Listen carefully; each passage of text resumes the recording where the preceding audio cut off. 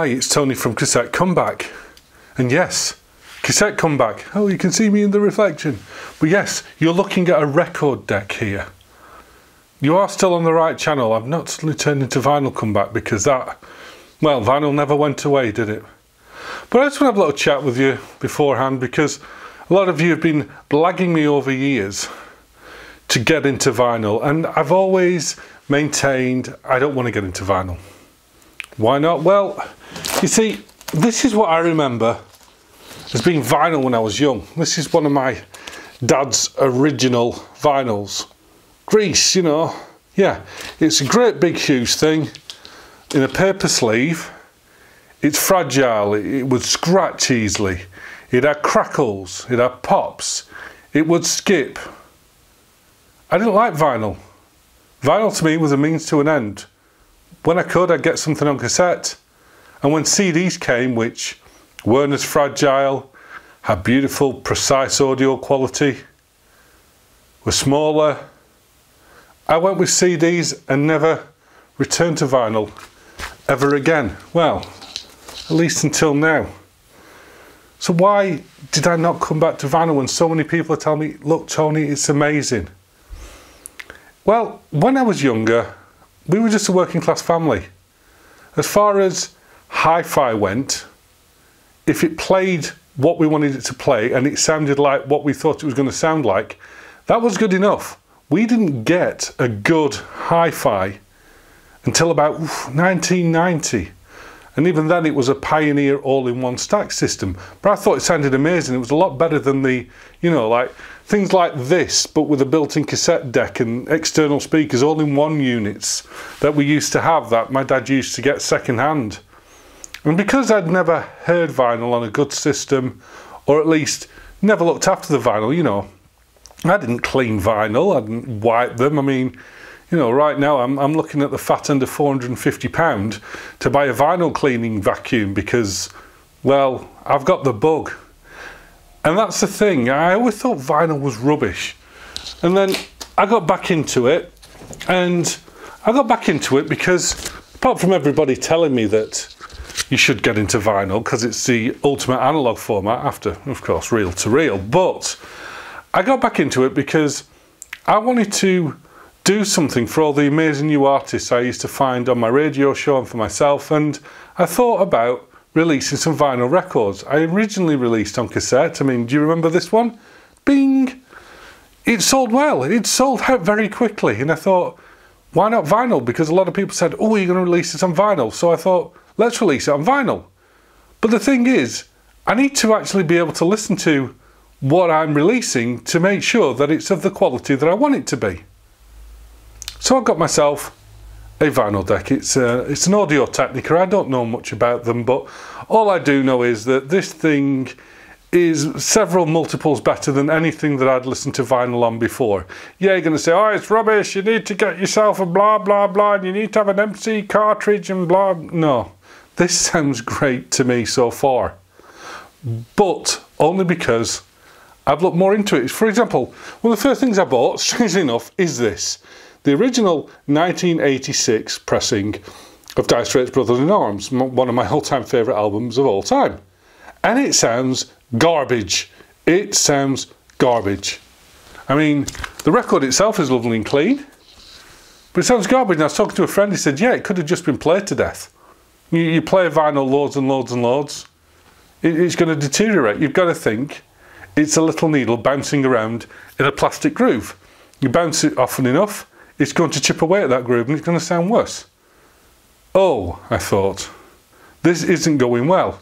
So again, I went back into my dad's collection of stuff and found this stunner. Hmm. The original Rolling Stones album in mono. This is the original release from 1964. Yeah, it's filthy and it sounds like garbage. I'm not being convinced here. So I'm thinking, is it all snake oil? And then I started thinking, okay, let me get some brand new vinyl. Some brand new vinyl that I know is nice and clean, not been abused. Let's give this another shot. And I bought this.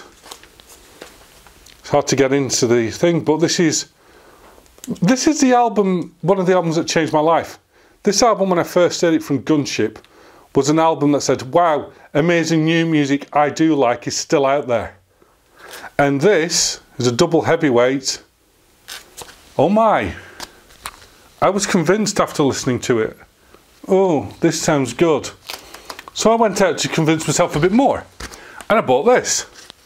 No, this isn't the same one. This is a remastered 180 gram audiophile quality one. Some people say that this isn't the best version because it's quite loud and the fact that it's on two discs but still has the same running time says to me, yeah, this was mastered loud, but this sounded good. And going down that road, it's like, okay, so it seems to be whether it's clean, whether it's been looked after, this sort of determines how good something's going to be. So after listening to a lot, I've come to the conclusion that, yeah, I get vinyl now, and unfortunately the bug has hit. And it got me thinking, why? There's still pops and clicks on vinyl. Why do I like it so much? Because, again, it's like cassettes. It's not about sound quality, purely. It's about everything else. It's the thrill of the chase of finding vinyl. It's how beautiful some of the sleeves are. You know, I mean, look at this. I still get joy when I see this. My favourite Now album, Now 12. It's it's lovely. You know, it, it's big. It's it's it's got a gatefold. You know, it's got information about it. stuff that that you don't get with a digital download. I know you get that with CDs as well, but it's the fact that I keep saying nothing worthwhile in life is ever easy. Vinyl, you've got to treat it right. You've got to make sure your stylus is clean, your deck's clean, the record's clean, there's no anti-static. And after you've cleaned it and put it on there and you get that sound coming out, it's been worth it. You appreciate it more.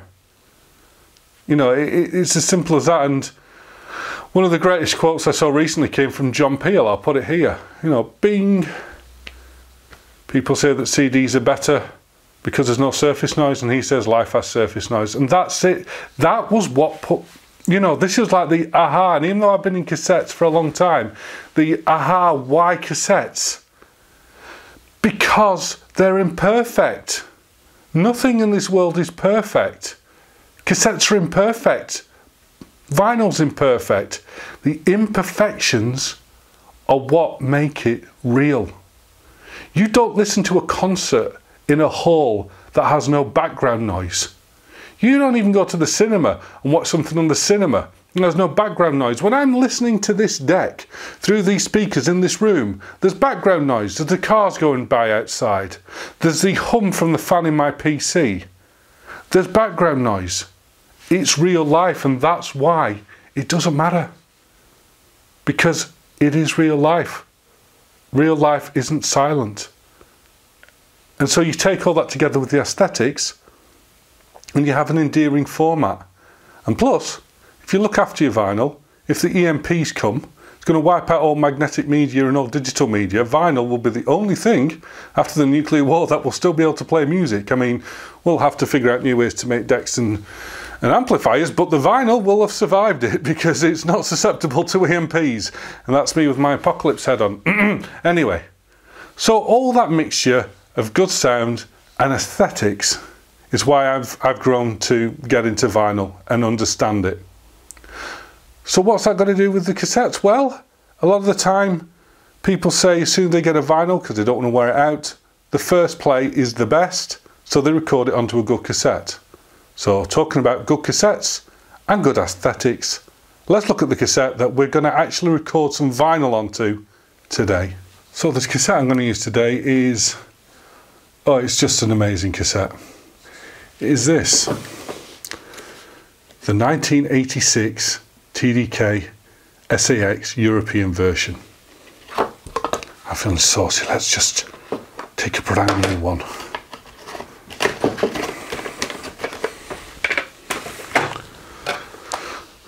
So what do I like so much about this cassette? Well, the first thing is look at it. This looks premium. It really does. It looks premium. We already know the SA-X, apart from one exception, is the best Type 2 that TDK made. And the exception being the triple core SA-XS. But this is a 1986 SA-X. This has the same tape in it as the extremely expensive, and I've done a video on it here, Bing, SA-XG, which is also from 1986. This has the same tape, but a worse shell. Well, I say worse shell, it's not in the alloy shell that the SA-XG is in. But this is still a beautiful cassette. So, Super Avilyn cassette, high resolution, laboratory standard cassette mechanism, because there were lots of laboratories recording on tapes. Mm, I don't know what that means, laboratory standard. You know, I don't think there was a standard for audio cassettes in a lab. But anyway, so SA-X90, let's have a look at the back. Dual layer Super Avilyn, so yeah, that's it. SA single layer, cobalt cope, dual cobalt cope, cobalt dope coat, and then we've got the SA-X, which is a dual layer. Oh noise, yep. You see, like I say, it's in English, German, and French. Because, like I say, this is the European version. Now, the, the American version of this, um, most probably the same tape and the same shell. It's just the big difference is the sticker. I know the Japanese versions also had this style of sticker as well, but um, the Americans didn't. You just had the bar across the bottom, a bit like the previous version. But anyway, let's open this up. I'm not going to do the old uh, knife because uh, it's a joy to open these. I absolutely love these. Now I will be using it and not putting it back into seal and besides I have more so it's nice to be able to say that. Nope, vacuum sealed, you ain't coming off easy so it's gonna have to be the old tear away, tear away at it. Come on here, I tell you, it's uh, the quality of the wrapper on this. It's it's it's not going anywhere. I'm gonna have to get nasty with it in a minute. Okay, we get nasty. Mm -hmm, Scratch the back of the case with the scissors. Nice. Never mind. All for you guys. So there we go. I've just turned this from a 40 pound cassette into a five pound cassette. There it is, all in its beautiful glory. Just like I say, it's not. It, this is gold foil. It's not like um, just printed gold, like some like uh, on the Scotch um, ferro that I did a while back, which was gold face, but it was just printed. I mean, it looks great, but you know, it's got A there, but you can't really write on that unless you've got a permanent marker. And that's why they still give you stickers, and they give you these strange sort of off-white greeny stickers to stick on it, which I always thought was, well, wrong. It just it looks, you know, you put that sort of thing on there, it doesn't look quite right. But that's the stickers you get in there. Look at the way it reflects, beautiful. And then, um, oh, it talks about the laboratory standard cassette mechanism. Is designed for optimum tape transport, running performance, mirror image shelf halves, bubble surface inner liners, dual spring pressure pads. Yeah. Yeah, because if you look at the pressure pads and that, you see it's not just a straight one, it's sort of like an oval shape with a gap in the middle, so there's two on it. But uh, all in all, yes, I think this is quite possibly one of the best looking cassettes ever. And you've got to think as well as that, it has got the uh, same tape in as a much revered SA-XG, so it could be argued this could possibly be the second best Type 2 tape that TDK has ever made. After, of course, like I keep saying, the SA-XG. But, yeah, beautiful inside and out. And uh, let's record some vinyl on it. Let's get some good quality vinyl with all the cracks and pops. It doesn't matter. Onto this gorgeous, gorgeous cassette.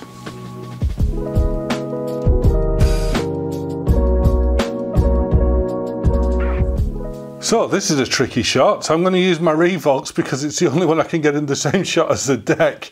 And I'm going to have to shuffle around a bit on this. So my usual really high production qualities uh, might suffer a bit in this. But um, the track I'm going to be using for this is one from my new record label. I mean, I have the the title at the start, Red Manor Records.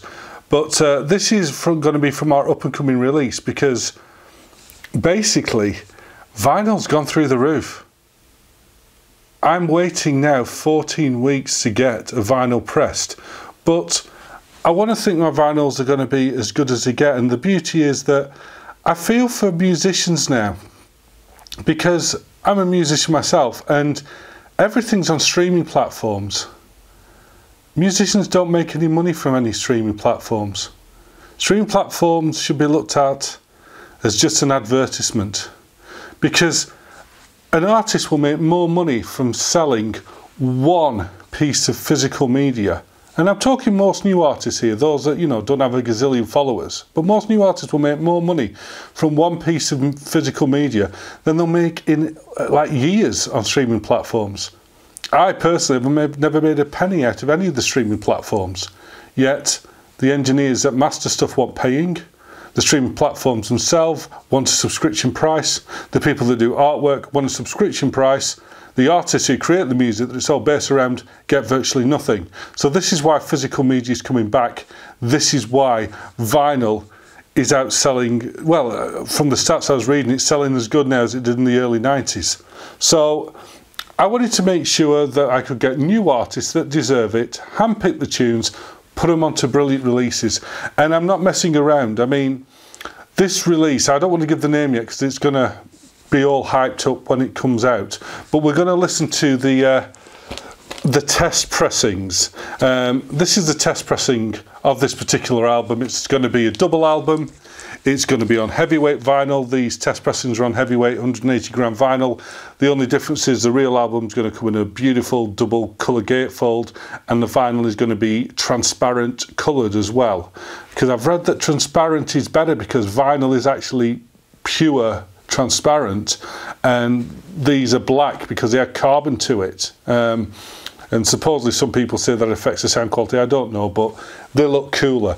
And the way that we've mastered this, we, we use a technique called this, quiet vinyl. Now, I'm not an expert on vinyl, but I'm learning as I go. But I've employed somebody who is an expert. She's called Danielle. She's in Australia and she's worked with loads of live acts. She's been an audio engineer most of her life she's got a synth rig that I couldn't believe. I mean, she's repairing a Fairlight CMI at component level, if you know what that means. So she's mastering these.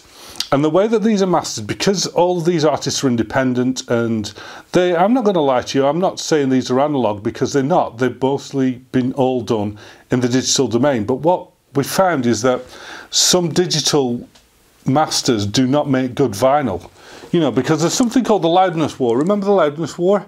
You know, and if you look at uh, a typical loudness war track, it looks like this. You know, it's completely brick walled, so they say. There's no dynamics there, there's no headroom anymore. And a lot of people are taking these sort of masters and pressing them onto vinyl. And it don't work for vinyl. Vinyl's a little needle that bounces around inside of a plastic groove. If you've got it really loud, the groove isn't that big anymore, it's that big. And the needle's having to go like that. And that causes issues. It's not designed for that. So when we do a quiet vinyl master, Danielle takes the original tune and we ask for all the artists to give us a tune without any brick wall limiting or any compression with a maximum peak of plus six decibels. So there's headroom and there's dynamics. Danielle then puts it through all her vintage analog outboard gear. She's got Neve stuff, etc.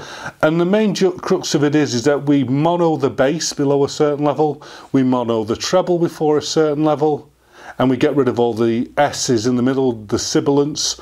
That's done. And then again, it's a maximum of minus six decibel. So these are quiet. I've already set the Revox up to record this, and this is recording it at an input level of minus 6. Normally, I record at an input level of minus 15 for a CD, but that's how it should sound. It's like this. I got put off because I got modern vinyl that was obviously pressed from Brickwall CD masters and it sounded crap. But like this one is a modern reissue, this one isn't. This one is very good because I was recording this the other day. Uh, mine, sorry, it was plus five. I was recording it onto a, an MX Maxell at plus five, but every now and then this would jump up to plus nine. This has not been brick walled, just like ours are not brick walls. So I'm hoping that everyone's going to like the quality of the releases. Now I have to get up out of the chair because, well, basically I can't reach both of these at the same time. So let's listen to some music now on this beautiful SA-X. This track is from a wonderful songstress. She's called Zajah and you can hear her Swedish twang in her vocals, these lovely dreamy vocals. This song isn't out anywhere as far as I know, it's an exclusive for this album. Like I said, the albums are focused on brand new music from musicians you've probably never heard of, so stop listening to Dark Side of the Moon for the hundredth time. Listen to some new stuff. This is beautiful, dreamy synth pop.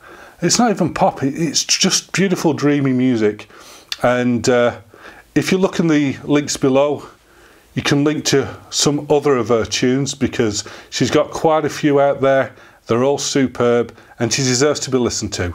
So let's listen to it on this SA-X. So if you'll just bear with me, um, I'll get the SA-X recording. Just uh, one second. Right, yeah. Okay, so let's record it. Oh, come on, Revox, let's go. Right, and now let's fire the vinyl, and I probably won't get it on Bob on first time, but let's have a look. Oh, that was good. Let's let it skip. That'll damage the record. Right, there we go.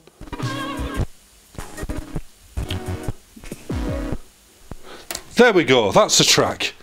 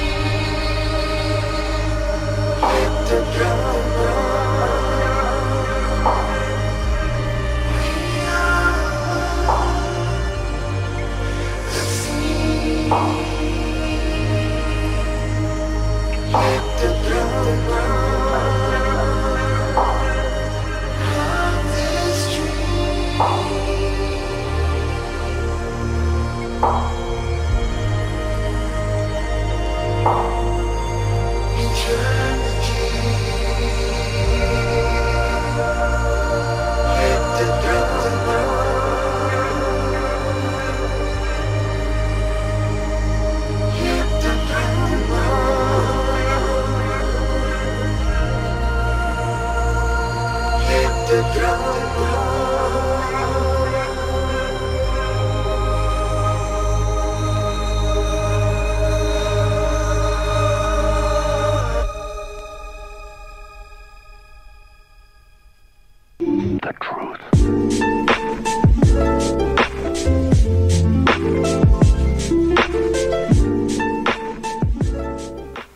So yes, yes, this this whole video has been a not too very subtle advert for my record company, but eh, what can you do? I mean, I don't ask for anything else from you, and I'm sure the comments will be full of you've got a terrible deck and you don't know how to use it, and your weight in the middle is rubbish, and you need a moving coil card, whatever.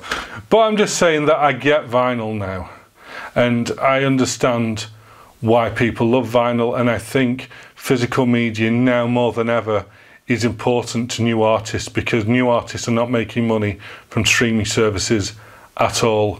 And it's just the whole aspect of physical media again, which makes it wonderful. I mean, look at it. Beautiful. Beautiful. I mean, recording something like that to something like this on a deck like that Revox, for me, if it gets much better in music, I, uh, I don't care. Personally, I'm happy to stay there. And I just want to show you something else, right? This record, Beatmasters, rocked the house. I, I don't think dance music has progressed since this, and this came out in like now was it 1987, 87, 88. But um, I bought this second hand, yeah, and this sort of shows me what I'm, I'm talking about. Right? When I, I took this out, and then we got the old record. There it is. It's a bit scratched, but inside here there was this. Now, I don't know who Katrina is, but 30 odd years ago, Katrina loved that album, sorry, album, that record, loved that sleeve so much that she drew a picture of the sleeve. This isn't something that was given away with it. This is a, a felt tip coloured in drawing that, that Katrina did. How many people do that now? How many children do that now of something that they've streamed? That they treasure something so much that they drew a picture of it? I'm going to guess none. And this is why physical media is so special. And this is why physical media will never die. Because it's more than the sum of the parts. And we like physical stuff. And we like to own it.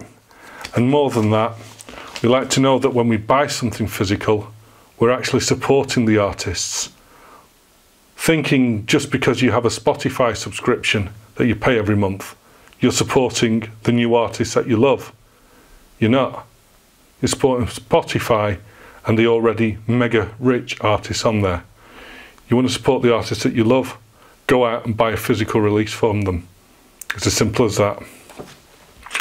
And as for the SA-X, well, I know it's an old tired phrase, but I could never have enough of these. You won't find these for sale on my web store. I'm doing yet another video about cassettes I don't sell because the odd occasion when these turn up, I buy them and I buy them for me. Yes, I know it's stupid to say I'm going to record something on this. I've just turned this cassette into something that's worth nothing when it was worth probably £40 when it was in the wrapper. I mean, the prices have gone nuts lately you know, a, a, last generation SA is £10 now, so what's this vintage, hard to find classic? Yeah, I know, I know. But you know what? I don't care. And sometimes in this life, especially now, you've got to take pleasure where you find it. Because you don't know if that pleasure is going to be there tomorrow. So thanks again for watching. Hope you found this video interesting. Please like and subscribe. And until next time, take care out there and happy taping. Bye bye.